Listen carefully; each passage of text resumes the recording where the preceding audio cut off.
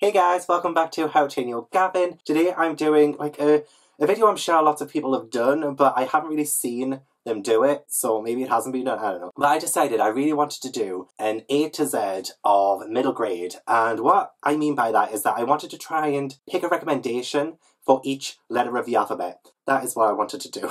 okay, the biggest challenge for me personally is actually picking just one book per letter. So I was going to do three recommendations per letter, plus one book off my TBR for that letter as well. And then I realised 26 times 4 is um, a really long video, so I thought I may as well just like the real challenge is getting it down to just one recommendation per letter. And I wasn't even going to do the TBR thing either, but I was inspired by Lexi from Alexandra Roselyn. She just put up a middle grade TBR video, which I will link in the description box below. It's fantastic. So I'm going to do it by letter A, B, C, D, and then tell you one book I recommend from that letter, and then one book on my TBR in that letter. So that is the gist. I spent so much time trying to explain that. Wow. Now the rules. what rules? I'm not counting the as a T. So if it was something like the something, I would count it as an S for something rather than the T for the if you know what I mean, a something, I'm also going to put it under S instead of A as well. That gives me a lot more breathing room, I'll have you know. So before I get into it, don't forget to subscribe if you haven't already and hit that notification bell so that you can find out when I'm uploading new videos, which is semi-regular. and also I have all of my social media links in the description box too. So, I mean, I'm not going to lie to you, I have already picked out all the books. So I'm not going to pretend like, oh, what? What have I got that's got A in the title? You know, I'm not going to do that. It's hard to do a video like this and not shout out some of my all-time favourites in it. So I'm sorry about that. So A is for Amari and the Night Brothers by B.B. Alston, of course.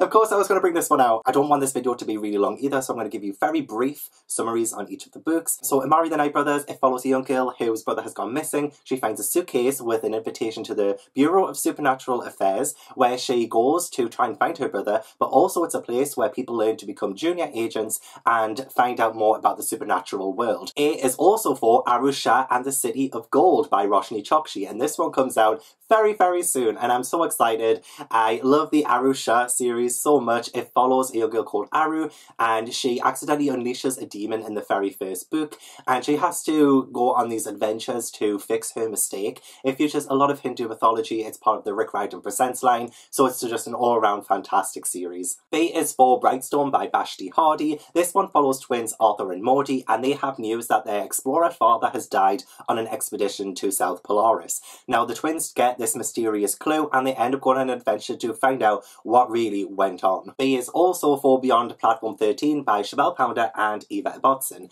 And I haven't read The Secret of Platform 13 yet either, but I mean, it wouldn't fit in this part. But this one is set on the island of Mist and Prince Ben and Odge are trying to find out what's going on and they end up meeting a nine-year-old girl called Lena who is seeking an adventure. C is for Castle of Tangled Magic by Sophie Anderson. This one follows Olia and she lives in Castlemaine and there is a storm. Bit my tongue. There is a storm that is threatening Castle Mila and her family, so Olia ends up going on this incredible adventure to a land where this mysterious wizard is wreaking havoc and ends up trying to find a way to save her home. C is also for City Spies by James Ponti. This one has been recommended to me so much lately, and it's really hard to ignore actually because I actually love the premise of this. It does follow a young girl called Sarah and she is a hacker. She ends up going to juvenile detention, but she is released by MI6 agents. She joins other young MI6 agents and travels around the world. And in this one, I believe she has to do some hacking in Paris.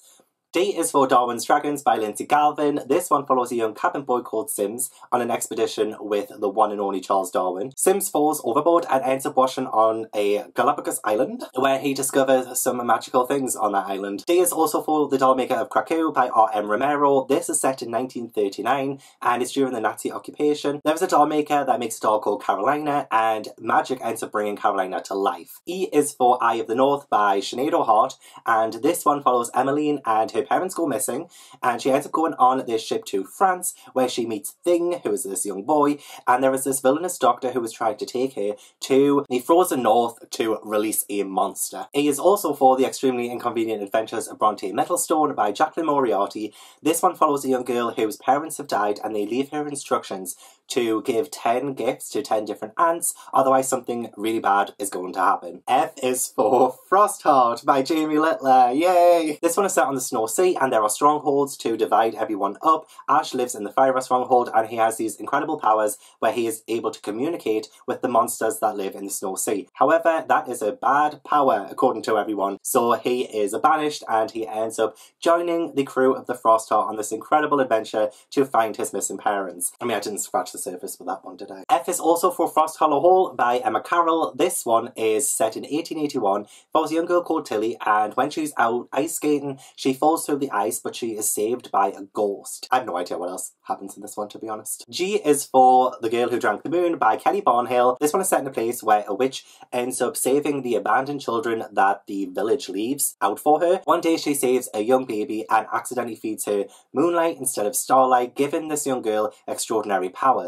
And this is kind of her story of her growing up. G is also for A Glass House of Stars by Shirley Marr. I am so excited to read this one. I've heard such fantastic praise for this one. It's told in second person. I'm finding it hard to explain this one because it's just uh, apparently told in such beautiful metaphors and a touch of magic. But this follows Meixing Lim, who immigrates with her family to this new house in New Land, I think it's called. And Meixing calls the house Big Scary. And after tragedy strikes, Meixing finds the walls of Big Scary to close in around her.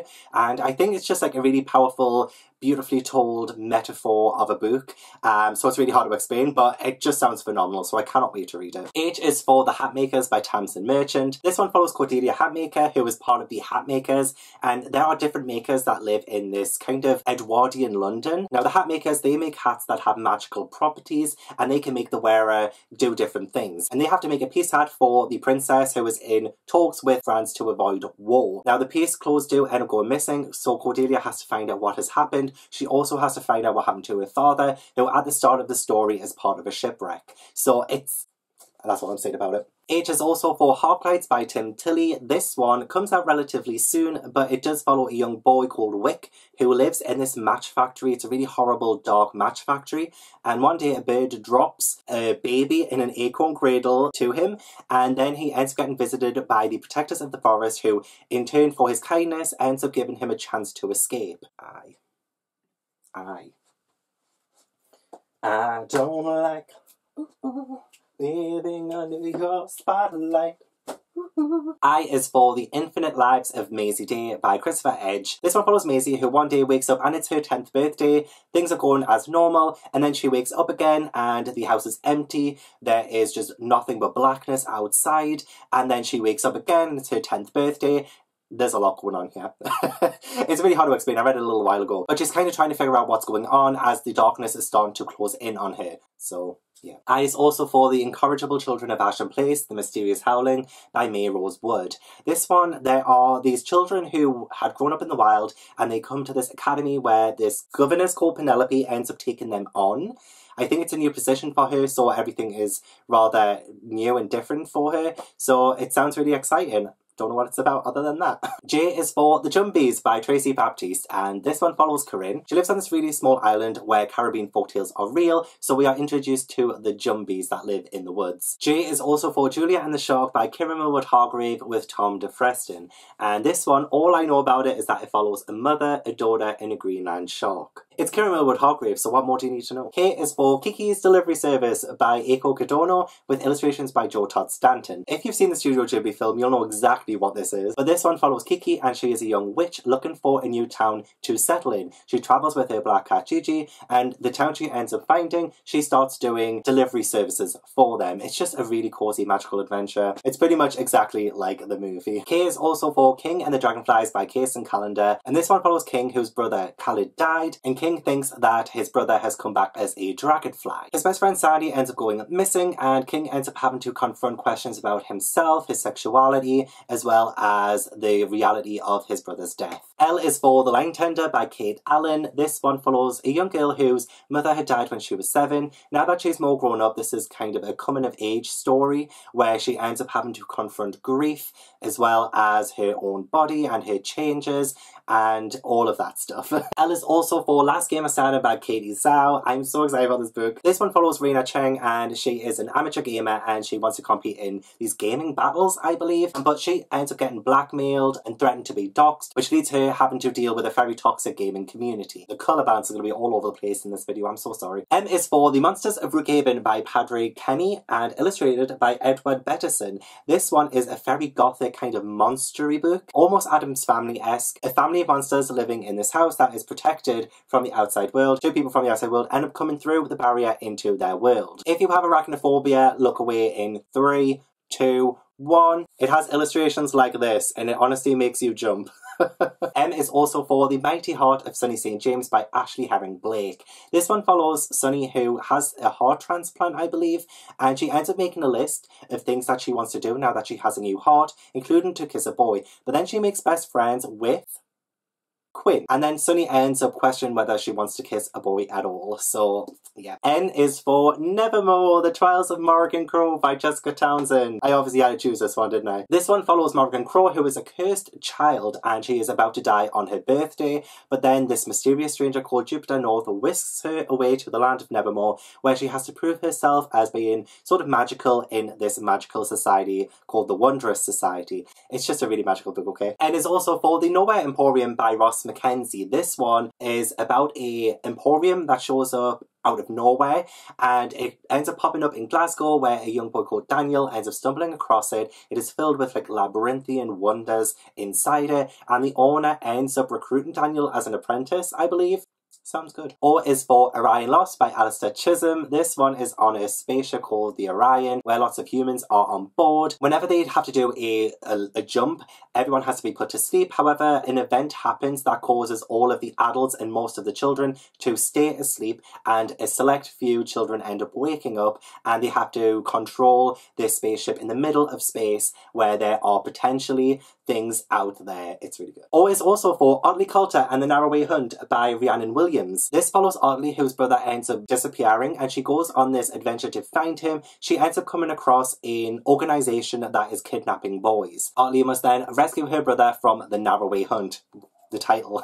P is for A Pinch of Magic by Michelle Harrison. This one follows three young sisters called the Widdershins, and they each have a magical item that has been handed down through the generations of Widdershins women. This is set on Crowstone Island, and there is this curse where if they leave the island, they will die by the next sunset. However, the curse is triggered, and the three sisters have to try and find a way to prevent themselves from dying. P is also for Proud of Me by Sarah Hager Holt. This one follows Becky and Josh, and they both have two mums and the same donor dad. Josh wants to find out who his donor dad is when he comes of age, and Becky thinks that she might have feelings for her best friend Carly. Q is for Quintessence by Jess Redman. This one follows a young girl called Alma who moves to the town of Four Points.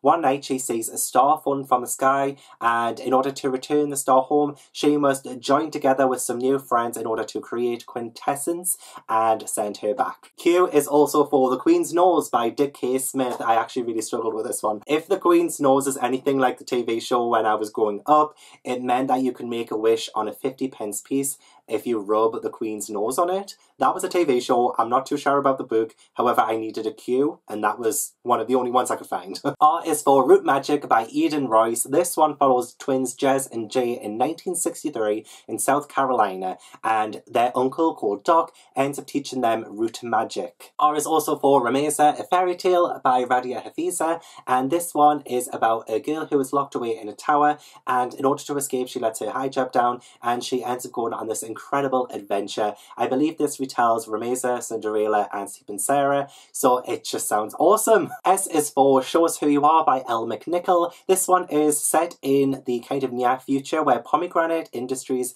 can make holograms of people, whether they be dead or alive. And we follow Cora, who is autistic. She ends up meeting Adrian, and they become really good friends. Cora is all for Pomegranate, whereas Adrian has some very real reservations about Pomegranate. So Cora ends up trying to solve the mysteries and the complexities of Pomegranate and the people who work there. S is also for The Shark Caller by Zillah Bethell. This one is set on an island that Blue Wing lives on and she wants to be a shark caller. There is a newcomer called Maple who comes along and they end up having to go to the bottom of the ocean to find the deadliest shark of all. T is for Tilly and the Book Wanderers by Anna James. This is the first book in the Pages and Co. series. This follows Tilly, who is a book wanderer. She can go into stories and stories can come out, so she can pull characters out like Alice or Anne of Green Gables. Tilly's mother has been missing for quite some time and she hopes to use her book wandering abilities to solve that mystery. T is also for Tamarind and the Star of Ishtar by Jasbinder Bilan. This one follows Tamarind, who goes to this huge house in the Himalayas to find out some of her family history because her Indian mum died before she was even born. Cameron follows some clues to an overgrown hut, a star-shaped ring, as well as a girl called Ishtar. U is for The Umbrella Mouse by Anna Fargher and illustrated by Sam Usher. This one follows Pip who lives with her parents during World War II and Pip is a mouse. Pip's home ends up getting bombed and she has to leave home with just an umbrella. Pip ends up coming across some animals who are part of the resistance during World War II. And U is also for the sequel, The Umbrella Mouse to the Rescue by Anna Fargher, illustrated by Sam Usher.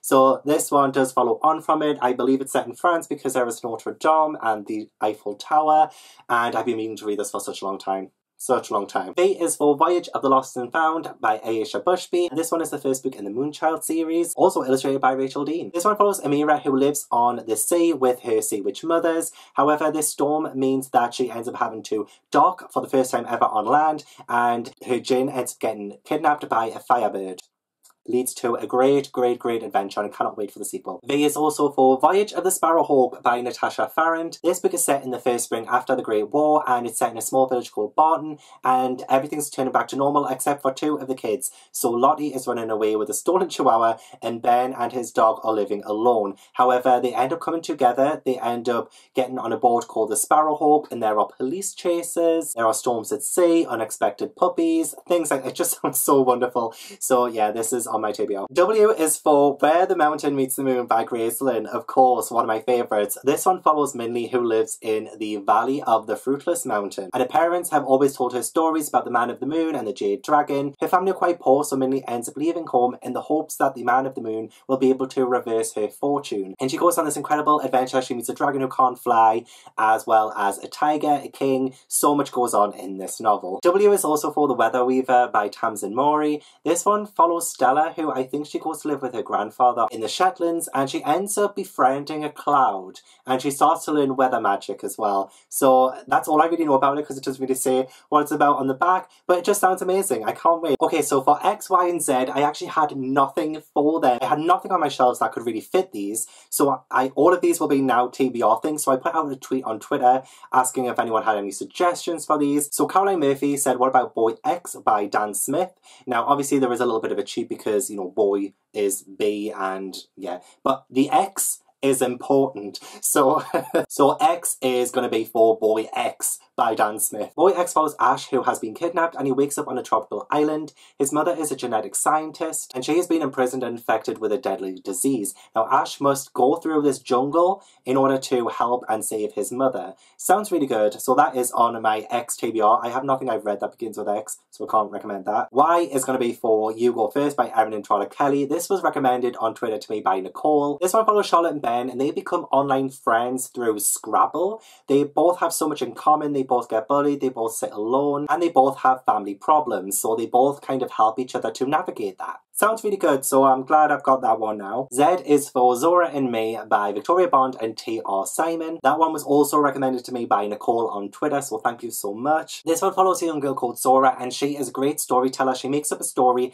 about a gator man who can come through the marshes and steal human souls. When a man is found murdered, Zora's tales take on a whole different new meaning. So I really did end up struggling towards the end there with X, Y, and Z. We need more middle grade books published with those letters in the front at the very front. I need more. So that was my A to Z kind of little challenge for middle grade. If you want to take part in that, feel free. It's not really a tag kind of thing. I just wanted to give recommendations and tell you more of my TBR for middle grade. But if you have any suggestions, if you have your own A to Z recommendations, list them down below. I'd love to see it. And if you would change any of them too, let me know. There's so much more that I would have said during this video. Honestly, I would have so many recommendations for each letter.